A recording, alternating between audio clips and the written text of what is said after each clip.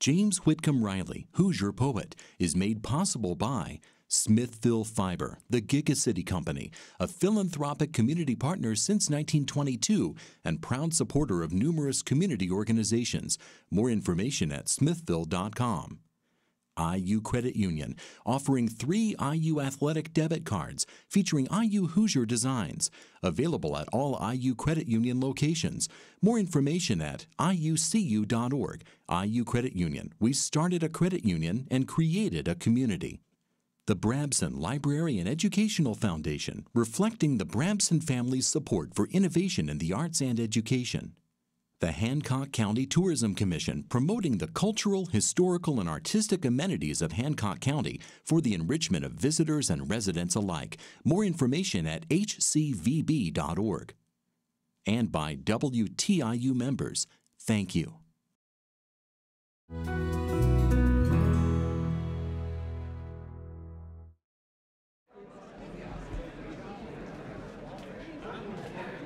Oh, hello. I didn't know anyone was back here. Oh my goodness. I'm nervous every time I go on. I've been doing this now for 15 years, reciting my poetry on stage, and every time I'm afraid I'm going to forget a verse before I get out there. Ladies and gentlemen, the Tivoli Theater proudly presents James Whitcomb Riley. Pardon me, it's my cue.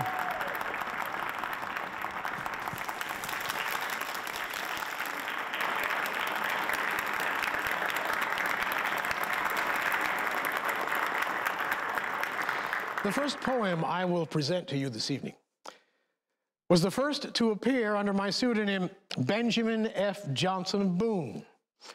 With the other poems written under that same signature, it came to form my earliest published book entitled The Old Swimming Hole and 11 More Poems. As far back into boyhood as my memory may intelligently go, the country poet is most pleasantly remembered. He was and is as common as the country fiddler and as full of old fashioned music. Not, not a master of melody, indeed, but a poet, certainly. And it was simply the purpose of that series of dialectic studies to reflect the real worth of this homely child of nature and to echo, if possible, the faltering music of his song. Oh, the old swimming hole, where the creek, so still and deep, looked like a baby river that was laying half asleep.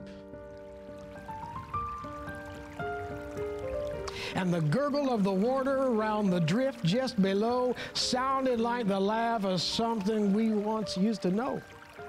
Before we could remember anything but the eyes of the angels looking out as we left paradise. But the merry days of youth is beyond our control and it's hard to part forever with the old swimming hole. Oh, the old swimming hole. In the happy days of yore, when I used to lean above it on the old sycamore, oh, it showed me a face in its warm, sunny tide that gazed back at me so gay and glorified. Made me love myself as I leaped to caress my shatter smiling up at me with such tenderness. But them days is past and gone.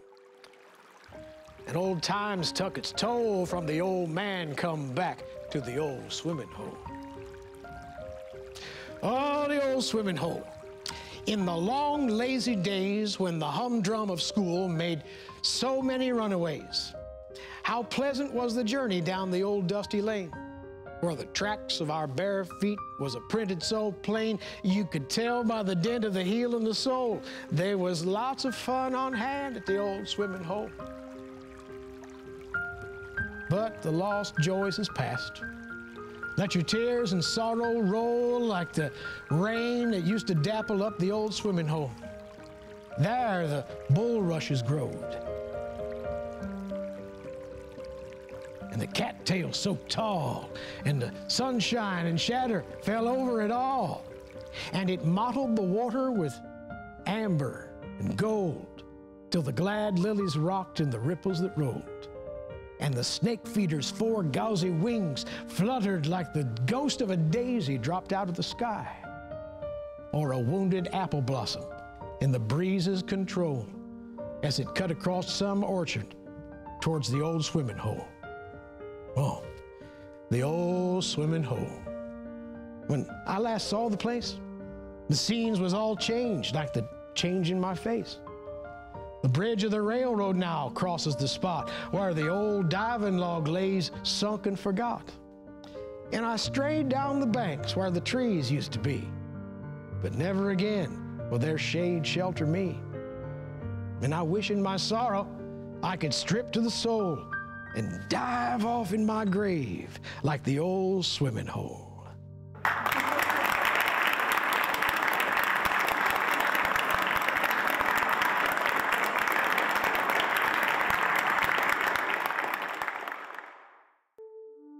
My name is James Whitcomb Riley. I once told my first biographer, Marcus Dickey, that there is a chemistry in nature that is making the worst good and the best better. To this end, a biographer may give scars the same treatment distance gives them in the landscape. He may soften or spiritualize them, but never ignore them. And that's what I'll try to do as I tell my story to you. Many of the details I'll relate to you about my history come from letters I wrote to friends and family at the time the incidents took place, and they'll often be visualized by illustrations painted under my direction by artist Will Vawter. I was born in Greenfield, Indiana on October 7, 1849, in a log cabin that sat along the National Road. James Whitcomb Riley was born on the day that Edgar Allan Poe died. And that plays a, a role in the way James Whitcomb thinks about himself throughout his life. When I was four, my father completed construction on a grand two story house that sat next to the log cabin I was born in. And this is where the family would live up until the time that James was 16. Gold was discovered in 1849, the year he was born. So this is what brought people starting to go out west, and so he would have been a witness to all of this travel on this main national road. Even though he was growing up in a small town, he, through them, was exposed to the world beyond Greenfield. Riley was not known to be a, a, stellar student. I'm sure I can see him being the class clown. More often than not, you would find Riley skipping school and going down to the swimming hole with some of the other boys.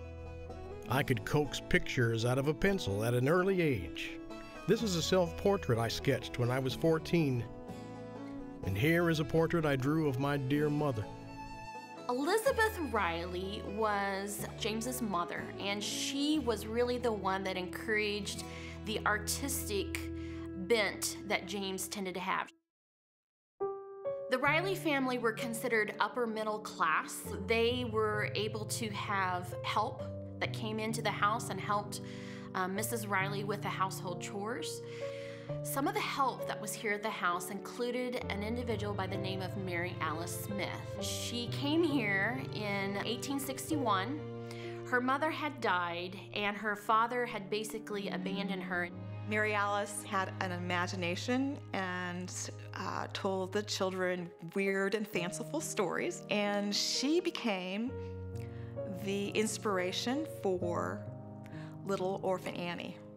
Now, watch carefully as I recite Little Orphaned Annie for you. You'll see specific locations in the Greenfield house I grew up in that are mentioned in the poem. Little orphaned Annie's come to our house to stay wash the cups and saucers up, and brush the crumbs away, and shoo the chickens off the porch. Dust the hearth and sweep. And make the fire and bake the bread and earn her board and keep. And all us other children, when the supper things is done, we sit around the kitchen fire and has the mostest fun a listening to the witch tales that Annie tells about and the goblins that get you if you don't watch out. Once, there was a little boy wouldn't say his prayers, and When he went to bed at night, away upstairs, his mammy heard him holler, and his daddy heard him bawl. And when they turned the kivers down, he wasn't there at all. And they seeked him in the rafter room.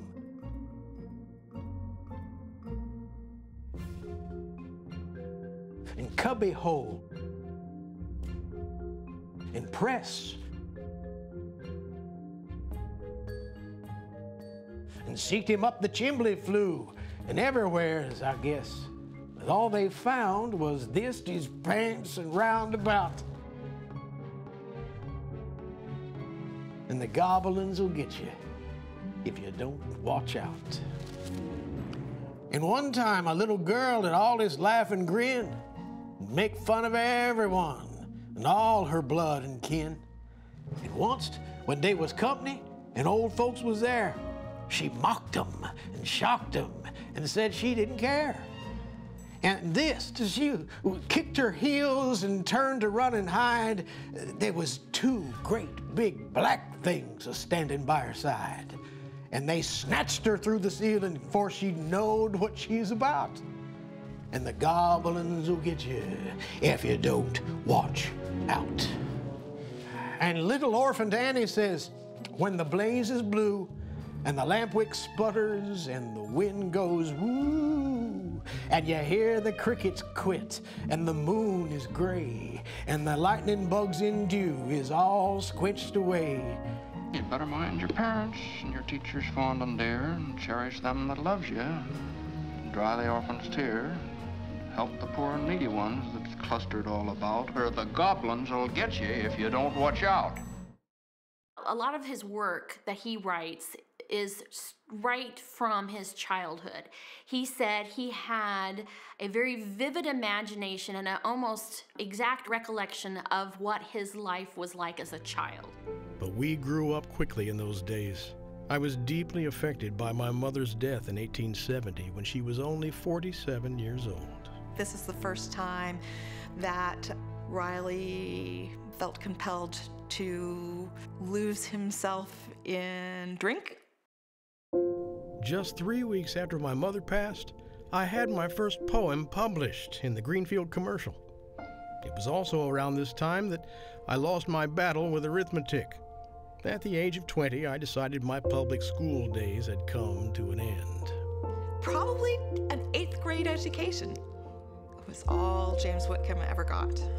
My father was never satisfied with any of the odd jobs I picked up after I left school. Reuben apprenticed him to a sign painter, and when he was done with his apprenticeship, he set up his own sign painting shop above a drugstore. And this was a profession that he did off and on in the early 1870s with a variety of different individuals. He had a partner, Jim Clanahan, at one time, and then he formed a group called the Graphics, and they ended up traveling all over the state painting signs. I was best known for painting ads on fences and on the sides of barns. He created a sign where a ladder and human figures and a dog spelled the words Riley. It really does show how ingenious he was. While he was painting, he was still doing his poetry. He was trying to submit them to different magazines and to different newspapers to get himself published. One of my advertising partners introduced me to Doc McCrillis. Here are two of the signs I painted for Doc after I joined him on the road with his traveling medicine show. After that, I joined up with Doxy Townsend's patent medicine concert wagon and traveled statewide. Being in a different town every night presented a young man with a lot of opportunities. He was kind of one of these ones that had a girl in every port. But the serious relationship during that time was this woman named Kit Myers who lived in Anderson, to whom he became engaged in the mid 1870s. Being the front man for the medicine shows bolstered my self confidence.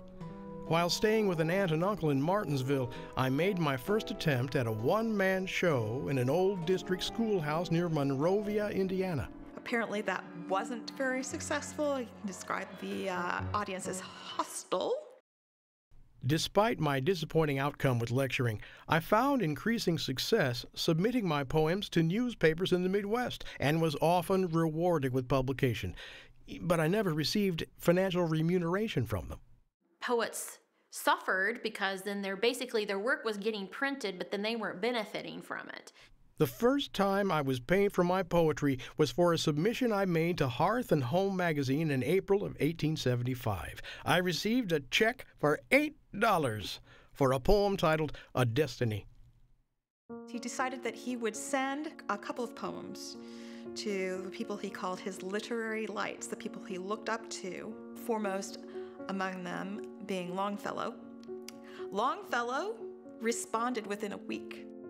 Not being in the habit of criticizing the productions of others, I cannot enter into any minute discussion of the merits of the poems you send me. I can only say in general terms that I have read them with great pleasure, and I think they show the true poetic faculty and insight. Yours very truly, Henry W. Longfellow. He felt tremendously affirmed, and I think that really gave him a lot of self confidence. And I understand he carried that letter around in his pocket with him. That says a lot, doesn't it? If it hadn't been for Longfellow's encouragement, he may have quit at that time. So this was a very important thing that happened in Riley's life. In April 1877, I accepted a newspaper position at the Anderson Democrat. For the first time in my life, I was under contract at a regular salary, $40 a month. At the end of the first month, the weekly subscriptions had doubled and my monthly salary rose to $60. At the same time, he was continuing to send submissions to the East Coast magazines and continue to get rejections. And this is where he really starts getting frustrated because he felt that his poetry was good. But in order to be accepted, you have to be accepted by the East Coast papers and literati. Will Kennard, uh, who was the editor of the competing newspaper in Anderson, they got into an argument about why Riley's poetry was not being accepted by the Eastern magazines. Riley claimed that it was because of those periodicals' prejudice against Western writers. And Will Kennard said, No, I think they're being rejected because your writing doesn't meet that standard. Annoyed by this man's criticism, and by the return of manuscripts from magazines, I devised a plan to win recognition in disguise. This was to write a poem in imitation of a well known author and submit it to my unthinking critics as a newly undiscovered manuscript. And of course, he picked Poe because Poe died on the day he was born. A friend, the editor of the Kokomo Dispatch, undertook to launch the hoax in his paper.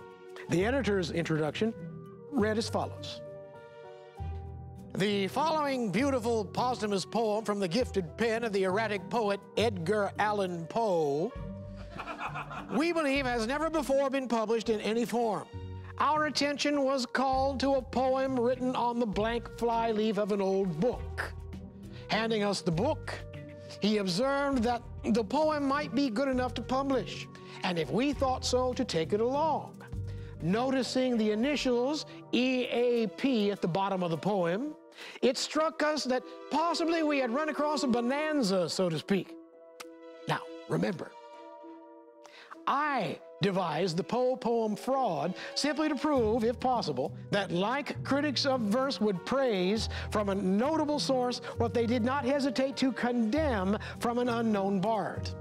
My scheme proved successful. And when that was published, a lot of newspapers out east, like the New York Times, New York World, were taken in by the ruse. Within weeks, the poem was published in all manner of outlets across the country, along with the acclaim it received from the judges of verse. Well, Riley's back here laughing because he's proved his point. Once a name of great renown was affixed to a poem that he wrote, the East Coast papers picked it up. And so it went, and went, and kept on going till at last the necessary expose. He took so many people in that so many people did believe that it was a Poe poem, that although he was momentarily disgraced, it actually set him up for his later fame. All of which is smiling material now, as I present to you the poem that was the object of my hoax, Leonainie. Leonainie. Angels named her. And they took the light of the laughing stars and framed her in a smile of white. And they made her hair of gloomy midnight in a solemn night of summer when my heart of gloom blossomed up to greet her comer like a rose in bloom. All forebodings that distressed me I forgot as joy caressed me. Lying joy that caught and pressed me in the arms of doom. Only spake the little lisper in the angel tongue. Yet I listened, heard her whisper, Songs are only sung here below that they may grieve you. Tales but told you to deceive you. So must Leonainie leave you while her love is young. Then God smiled, and it was morning. Matchless and supreme heaven's glory seemed adoring earth with its esteem. Every heart but mine seemed gifted with the voice of prayer and lifted where my Leonainie drifted from me like a dream.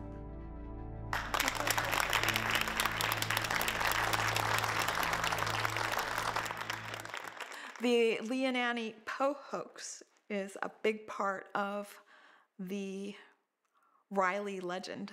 He lost his job at the Anderson Democrat, and so he told Kit that he was going to break the engagement. He was kind of pushing her away, and this then, of course, is another time when he had some drinking issues. Again, I turned to my family and home in Greenfield for comfort. Once there, I found the sympathetic soul I needed. Clara Louise Botsford was a school teacher. She came to stay with the Rileys. Clara and Riley became involved because of their interest in literature and writing.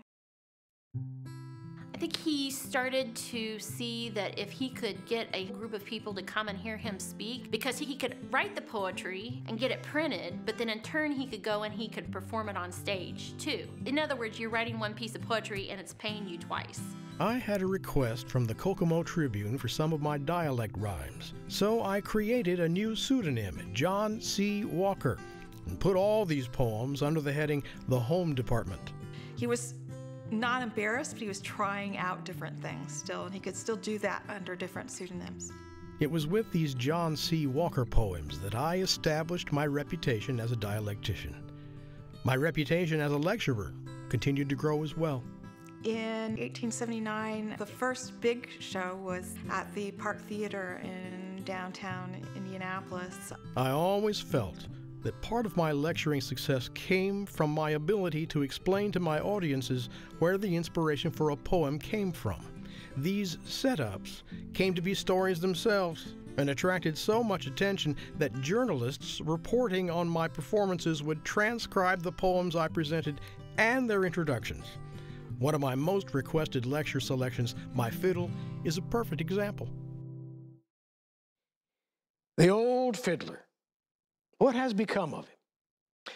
The dear old fashioned fiddler of our childhood, uh, who occupied the one chair in the kitchen and beat such hearty time to his music on the bare oak floor. Oh, what a whole souled thing his foot was.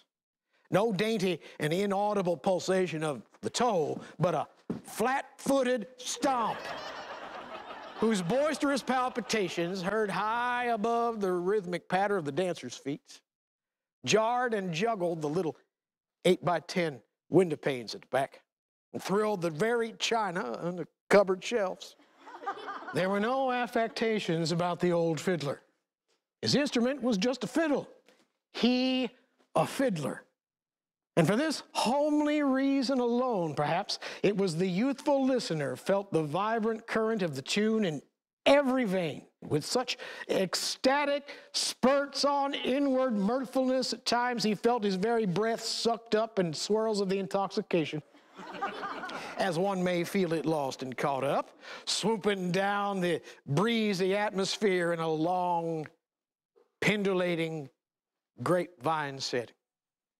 The old fiddler whose deft touches either lulled or fired our blood in those days Ah, where is he? We wander wearily in quest of him. We do not find him at the banquet, the crowded concert hall, the theater. They do not want him in the opera. The orchestra would blush to have him there. In all the wide, wide world, he had not where to lay his head. And so the old musician journeyed on, simply because my fiddle,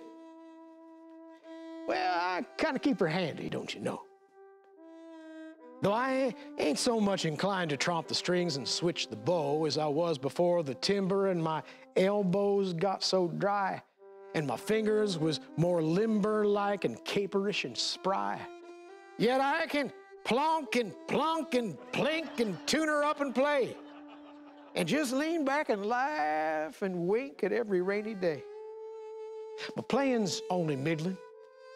Tunes I picked up when a boy, the kind of sort of fiddling that folks call corduroy, uh, the old fat gal and rye straw and my sailors on the sea is the old cotillions I saw when the choice is left to me. And so I plunk and plonk and plink and rosin up my bow and play the tunes that makes you think the devil's in your toe. I was always a romancing, duelist boy, to tell the truth. A fiddling and a dancing and a wasting of my youth, and a acting and a cutting up all sorts of silly pranks. It wasn't worth a button of anybody's thanks. But they tell me, when I used to plink and plonk and pluck and play, my music seemed to have the kink, driving cares away. That's how this here old fiddle's won my heart's enduring love. From the strings across the middle to the screeching keys above, from her apron over bridge to the ribbon round her throat, she's a wooing, cooing pigeon singing love me every note. So I pat her neck and plink her strings with loving hands. And listening closest, sometimes I think she kind of understands. The Park Theater performance marked a turning point for me. With the positive reviews I received, I was able to launch my first successful lecture season.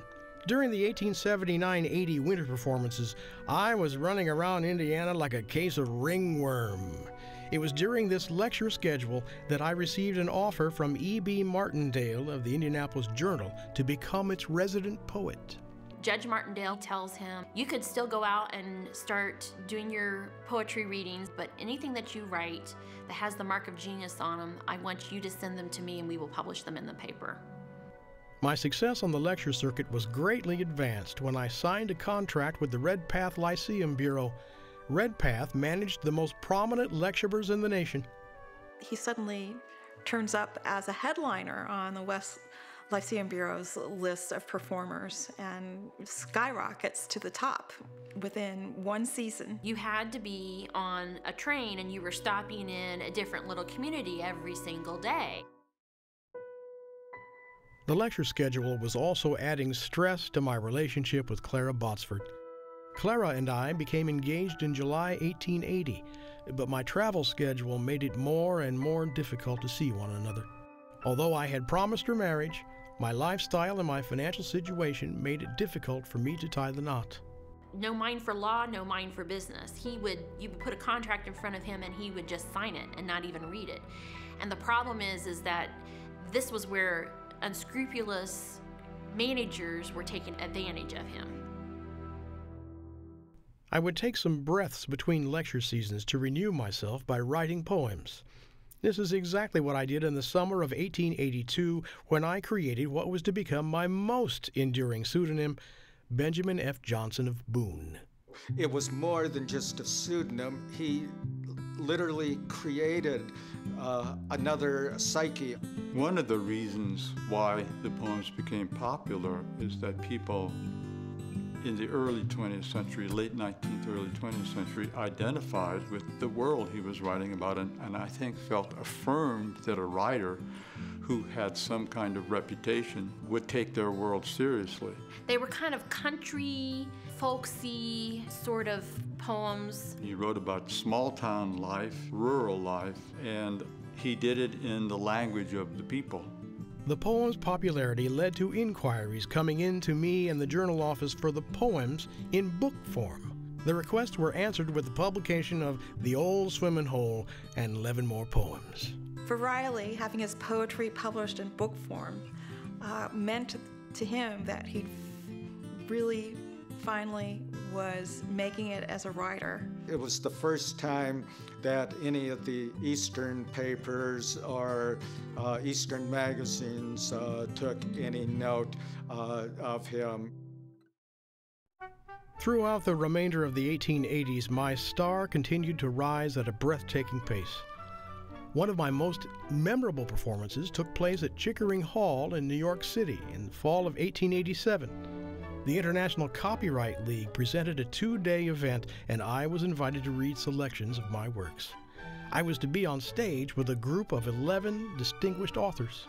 Riley was the least known among them. He was the sensation of the afternoon. Newspaper notices were extraordinary. He supposedly moved the audience to tears. The poem I recited that afternoon, that seemed to have such a profound effect on the audience, was known as Nothing to Say. Nothing to say, my daughter. Nothing at all to say. Girls that's in love, I noticed, generally has their way. Your mother did before you, when your folks objected to me. Yet here I am, and here you are, and your mother, where is she? You look lots like your mother, pretty much same in size, and about the same complected, in favor about the eyes, and like her too, about living here because she couldn't stay. It'll most seem like you was dead, like her. But I ain't got much to say. She left you her little Bible, read your name across the page, left her ear bobs for you if ever you come of age. All has kept 'em and guarded guarded 'em, but if you're going away, nothing to say, my daughter. Nothing at all to say. You don't recollect her, I reckon. No, you wasn't a year old then. And now you're, how old are you? Watch out, not 20. When? And your next birthday's in April. And you want to get married that day. I wish your mother was living. But I ain't got nothing to say. 20 year. And as good a girl as parent ever found. Uh, there's a straw catched on your dress there. I'll brush it off. Turn around. Her mother was just 20 when us two run away. Nothing to say, my daughter. Nothing at all to say. That's when he gained overnight national fame. It was also during this time that my relationship with Clara Botsford finally played out. She thought I was giving her an endless string of excuses not to legalize our liaison, and as a result, her letters became increasingly accusatory. He told me then that the prof had heard I was your mistress, that he had the news from Greenfield, that everyone so regarded it. Finally, in the spring of 1885, I decided to end my five year engagement to Clara. She didn't take it well. This is most bitter, but a fitting finale to the beginning. Everything shall be as you desire, letters and all. I think I realized to the full how little of your life I occupied. He always said when he could uh, when he could get the women, he didn't have the money, and when he had the money, then he couldn't get the girls. My partnership with Clara may have come to an end, but a new lecture partnership was just beginning to pay dividends. Bill Nye was a well known humorist of the time. They worked very well together. And it was very successful. They were booked constantly. He was being worked to exhaustion. And then they were being horrible to him and they were taking all of his money from his work and not giving him hardly anything For one performance in Louisville, Riley was discovered passed out in uh, his hotel bed, not able to perform. I thought I would die of shame. I just rolled over with my face against the wall and sobbed the plaster loose. My brother in law, Henry Eitel, who was just beginning to take over my business affairs, came to the rescue and took me home to Indianapolis under cover of night. His Indianapolis friends and many people rallied around him and pointed out how Riley had been taken advantage of.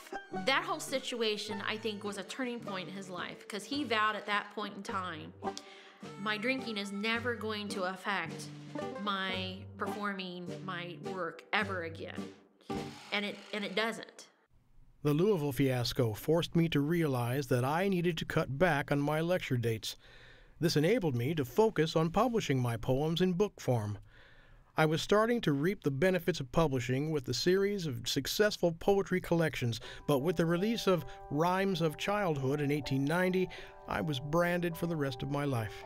With Rhymes of Childhood, those poems were so beloved and so perfect for orations that school children all over the country uh, learned the poems by heart, even though Riley did not consider himself to be a children's poet. It really did cement him uh, as a writer of children's poems, which uh, really is a small percentage, but what Riley is probably best known for. One of my most popular poems that appeared in that book was The Raggedy Man. Since it's also such a good example of a dialect poem, I'd like you to see how the spelling of the words in my dialect style would have appeared in a book as I recite the poem for you now. Oh, the Raggedy Man. He works for Paul, and he's the goodest man you ever saw. He comes to our house every day and waters the horses, and feeds them hay, and he opens the shed, and we all just laugh when he drives our little old wobbly calf. and then, if our hired girl says he can, he, he, he milks the cow for Elizabeth Ann. Ain't he awful good, raggedy man? Raggedy, raggedy, raggedy man. Why, the raggedy man, he's so good, uh, he splits the kindling and chops the wood. And then he spades in our garden too and does most things that boys can't do. He clumbed clean up in our big tree and shook apple down for me. And another and two for Elizabeth Ann. And another and two for the raggedy man. Ain't he awful kind, raggedy man? Raggedy, raggedy, raggedy man. And the raggedy man, he knows most rhymes and tells that if I be good sometimes, it knows about giants and griffins and elves and the squeegee come squeeze that swallows themselves. Right by the pump in our pasture lot, he showed me the hole that the wunks has got. It lives way deep in the ground and can turn into me or Elizabeth Ann. Ain't he a funny old raggedy man? Raggedy, raggedy, Raggedy Man. The Raggedy Man. One time when he was making a little bow and arrow for me, says, when you're big like your paw is, ere you go to keep a fine store like this, and be a rich merchant, and wear fine clothes, ere whatever you got to be, goodness knows. And then he laughed Elizabeth Ann. And I says, I'm gonna be a raggedy man. I'm just going to be a nice, raggedy man. Raggedy, raggedy, raggedy man. With my books now bringing in a steady income, I could afford to be more selective about my lecture appearances. But in 1894, I couldn't pass on an opportunity to appear on stage with Mark Twain at Madison Square Garden in New York City. Mark Twain admired Riley. He said he was the funniest man in America. Mark Twain hated to appear on stage with James Whitcomb Riley. He was a little bit jealous of Riley's notoriety. Twain would only appear with James Whitcomb Riley if James Whitcomb Riley only performed his serious poetry and didn't do anything humorous. After the Madison Square Garden event, I returned home to Indianapolis, and in years past, I usually stayed at the Denison Hotel. But in 1893, I took up residence at the home of Charles and Magdalena Holstein at 528 Lockerbie Street. He insisted that he pay, you know, a boarding fee. You know, he wanted to share in the cost of kind of keeping the home up. The library was James Whitcomb Riley's favorite room. He loved being in this room. And it'd be also another place where they do a lot of entertaining. His personal favorite poet was Henry Wadsworth Longfellow. That's why there's also a bust of Longfellow in this room over on the right hand side on top of the bookshelf. His favorite writer was Charles Dickens. We know from Magdalena that he would read aloud from Charles Dickens every Christmas Eve. The bookshelves in this room are all filled with uh, the books that belonged to James Whitcomb Riley, and so we know that these are the books he liked, these are the books he bought, and these are the ones he enjoyed. The chair over on the left hand side of the room was often called Poet's Corner. In this very chair is where I would often read selections of my poems for guests in the house. When the frost is on the pumpkin and the fodder's in the shock, and you hear the kick and gobble of the strutting turkey cock, and the clacking of the guineas, the clucking of the hens, and the rooster's hallelujah as he tiptoes on the fence. Oh, it's then the times a feller is feeling at his best, with the rising sun to greet him from a night of peaceful rest, as he leaves the house bareheaded and goes out to feed the stock. When the frost is on the pumpkin and the fodder's in the shock.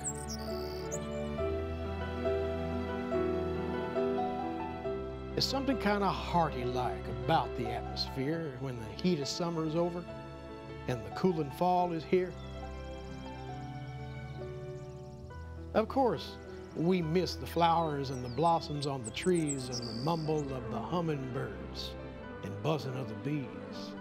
But the air's so appetizing, and the landscape through the haze of a crisp and sunny morning of the early autumn days is a picture that no painter has the coloring to mock.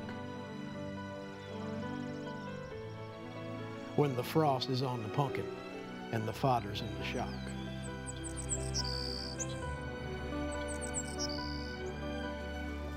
The husky, rusty rustle of the tossels of the corn and the rasping of the tangled leaves as golden as the morn.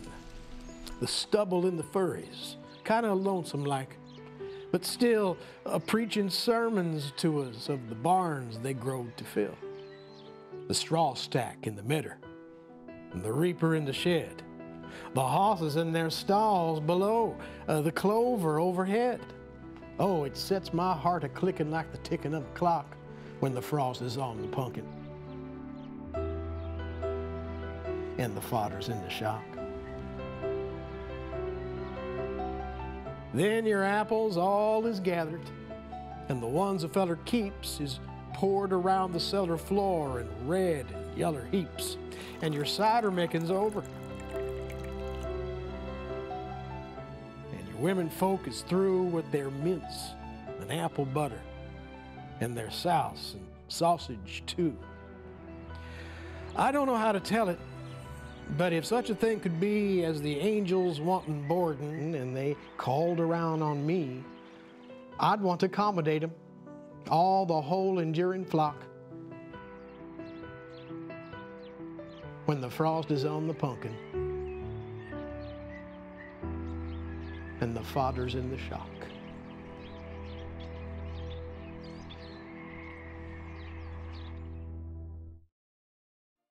When he moved in in 1893, he brought a lot of his own furniture with him. So James Whitcomb Riley's bedroom has a lot of pieces in it that actually may be a little bit older than the home. His original writing desk is straight across from the doorway. That's where he composed many of his over 1,000 works of poetry. We also know that he liked to write in the bed here. Magdalena would write about coming up and finding him late at night, scribbling away on a little lap desk in his bed surrounded by little scraps of paper. That's how he liked to work. that kind of family connection that he got here, that family feeling, was certainly very important to him. And it's, and it's clear in his poetry. He wrote so much about family, about childhood. Those were all very important things to him. Even though my poems reminded the reader of the good old days, there were several aspects of the country's increasing commercialization that helped fill my pockets. Riley was one of the first celebrities to use his name and his image with a variety of different products. This was everything from pineapple to coffee to rolled oats to vinegar. There were Little Poet cigars, and they had the Hoosier Poet name and they had his face on the label. So he was getting revenue from the use of his image and his name and even his poetry through products.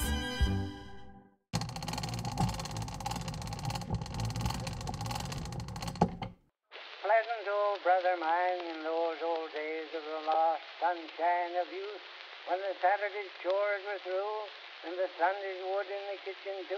Riley was recorded by Edison Records, so you could actually hear the Hoosier poet and hear how he sounds. So if you couldn't go to see him in a performance, you could buy a record and hear him. And all is well out to old Aunt Mary's. The Selig Polyscope Company purchased some film rights from Riley in order to make movies. It was thought that this would be of great interest because Riley was such a well known poet. This is the only movie that you're going to see that actually tells the story of Little Orphan Annie as we know her from Riley. After the turn of the century, I became altogether weary of the lecture tours and confined my poetry readings to special events. I recited at events like the dedication of the Soldiers and Sailors Monument in Indianapolis and the World's Columbian Exposition in Chicago. Even though he never officially had the title of Poet Laureate, he sort of became like the Poet Laureate, and if a prominent person uh, died, he would write a, a valedictory poem about that person. As the anxiety of vanishing youth began to creep over me, I often referred to myself as the homeopathic poet. I felt the cords of affliction begin to tighten. In July of 1910, Riley suffered a severe stroke. It was touch and go for a while, but he survived. He finally was able to walk with a cane. I had trouble talking, and most distressing to me was my inability to use my writing hand. My mortality became evident, and I wanted to be remembered for something more than just my poetry. The result was a $75,000 donation to the State Board of School Commissioners for the construction of a new library building in Indianapolis. For the next few years, my recovery from the stroke continued quietly at the Holstein House, except for my birthdays. The Indiana Federation of Literary Clubs spearheaded a movement for the celebration of my birthday in all the state schools. All the schools in Indiana celebrated his birthday, read his poetry on that day in the classroom. Between 1911 and 1915, the Indianapolis schools' festivities culminated in front of my Lockerbie home, where school children would serenade me and present me with flowers. That celebration spread to the national level in 1915 when the U.S. Secretary of Labor called for a national observance of my birthday. And this is when you started having Riley Day all over the nation. After passing my 66th milestone, I was feeling so much like a boy that time seemed to promise many returns of the day. But my end was not far away. Riley suffered a second stroke July 22nd, 1916. They thought he would possibly recover, um, but unfortunately he did not and passed away. Riley was honored with a funeral in our state capitol building. There'd only been two people who had that honor prior to him. He had a funeral cortege that took the body from Lockerbie to the state capitol building, and there 35,000 people saw his casket in one day's time. Greenfield thought that he should be buried in Greenfield with other members of his family. Indianapolis did not think that Greenfield was a suitable location. The Indianapolis faction won out, in part because the Indianapolis faction had money and designed a major uh, memorial to Riley on the top of Crown Hill, the highest spot in Marion County, Indiana. It was shortly after the death of the poet in the summer of 1916 that friends, according to the story, um, tried to figure out a good way to uh, memorialize the poet. The Riley Memorial Association quickly formed, and the first thing they ended up doing was buying the Lockerbie home. A physician named Lafayette Page, who brought the idea that perhaps because Riley had so cared for poor children, that instead of putting up a monument or a park, that a hospital to care for all the children of Indiana would be a fitting memorial to the poet. So by far the largest amount of money came from the Riley uh, Association and its fundraising effort. It received subscriptions from school children's, from Kiwanis clubs, from Rotary organizations all over the state. And it was always originally called the James Whitcomb Riley Hospital for Children. People today know it only as Riley Hospital, and they've forgotten the James Whitcomb part and that it was named for the Hoosier poet.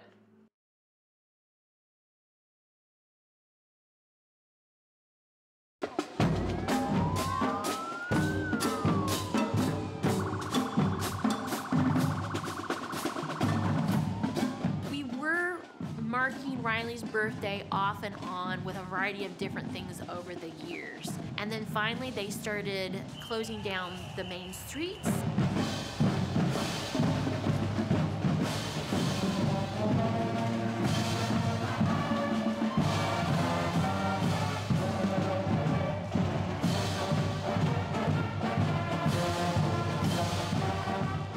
So now it is the second largest craft festival in the state. It is a four day weekend. It is one of the oldest fall festivals here in the state of Indiana. Today is our workshop on James Whitcomb Riley, who is a famous Hoosier poet. Little orphan Annies come to our house to stay and wash the cups and saucers up and brush the crumbs away. I think for me, the value is the way he wrote, and that I would want kids to know that there are many different ways to express yourself and that there's value in all of those different ways. And I want them to understand why he expressed himself that way and what it meant to people. He wrote the way that they spoke. Kivers or covers? I just have when he went to bed at night. What's a cubby hole? It would probably be your best hiding spot. Do you want carnivores or child eaters? But they talked about this is the way they that it sounds, but this is what it really means. He was a very important part of our literary history. Riley did reflect a very important uh, phenomenon in the late late 19th century, early 20th century, which was interest in uh, children, uh, a sort of romanticism, a reaction against industrialization and scientific thinking. Poems are windows into time and place, and his were also. He certainly was a major literary figure of his time and really Indiana's first celebrity, someone who really introduced to the country what it meant to be a Hoosier. Literary critics have not been kind to Riley over the years.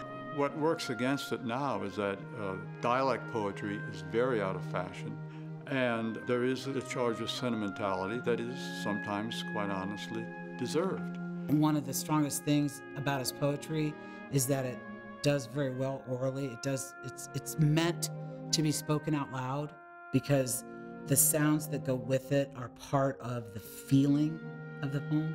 There is a special joy that some people feel in hearing a, a kind of literature, a genre of literature like poetry, be in the language that people speak at home or on the street. He was the most successful poet in the 19th century in America and perhaps uh, uh, worldwide. He was driven to write the way he wrote as a way to express the culture around him, and I think that that's of tremendous value. Whether or not it translates is irrelevant. It was what it was for when it was, and it had value.